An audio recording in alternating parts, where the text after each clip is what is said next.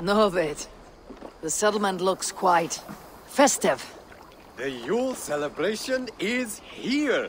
It's midwinter, Eivor. Time to drink, fight, and compete in hopes of a bounteous harvest. Jolnir, the Yule god, smiles on us. The days will soon grow longer, my friend. It's all a glorious rebirth about to begin. And you did all this? Not exactly. On a scouting mission, Sunniva and I met a group of, uh, uh, we call them revelers. They did most of the work. Sunniva's manning the fistfight tournament. All in good fun.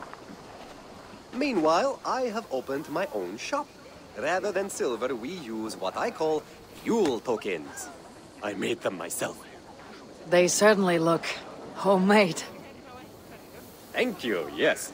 Now, before we begin our celebrations, we need to get the brewery and the cattle farm ready for the Yule feast. And you'd like me to do that, I suppose. I would. And since I'm so fond of you, have some Yule tokens. I expect to see you at the celebrations later.